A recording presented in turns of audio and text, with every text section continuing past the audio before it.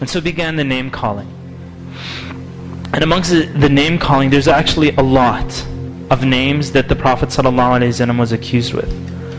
And as the Quraysh gathered together, they said, what should we call him? And all of these names at a certain point, they had accused him of. The first one was Al-Kahin, the soothsayer. Basically like a fortune teller.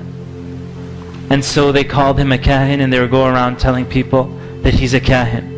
They called the Prophet ﷺ a Sha'ir, a poet someone who just comprised some lines of poetry, and now he's presenting it to the people claiming that he's a prophet. They called the Prophet ﷺ Sahir, a magician. And in fact, this was one of the, out of the different names that they had used against the Prophet ﷺ, this was the one that they focused on most. Because when people would convert to Islam, when people would come back and listen to the Prophet ﷺ, they would say, that they've they've fallen under uh, a spell.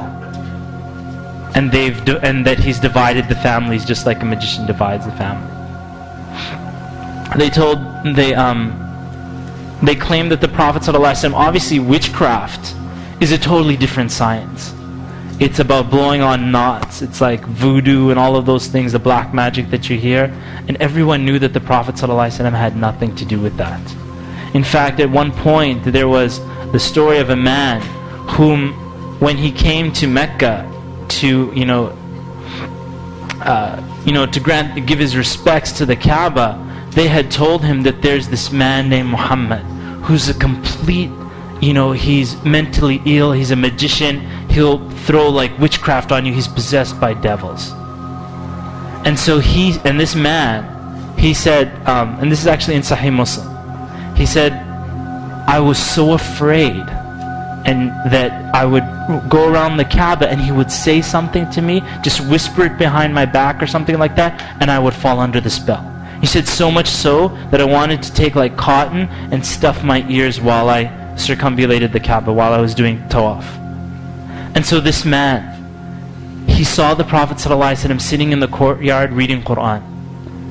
And so every time he passed by, this man was actually a doctor and he was from a, a big tribe. He said he started feeling pity for Muhammad and as every time he went by and he saw him, he said, you know what? I've heard the statements of all the soothsayers.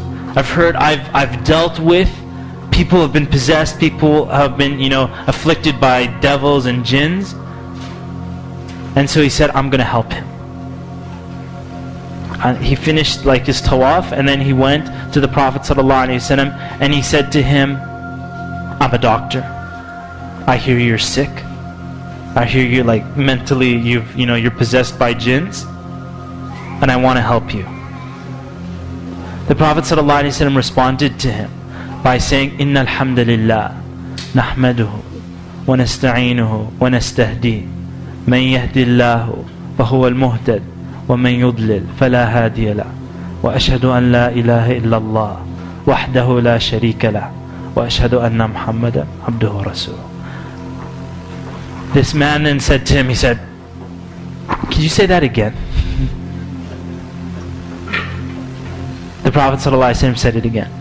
Inna alhamdulillah. Verily all praise belongs to Allah. We praise Him. We seek His help. Whoever Allah guides, there's no one that can misguide them. And whoever Allah allows to go astray, nobody can guide them aright. I bear witness that there is no God but Allah, and I bear witness that I'm the messenger of Allah.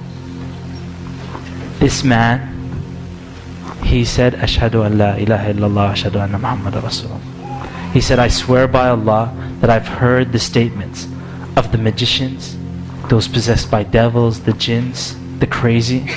He said, I swear by Allah, this is not the words of those who are possessed.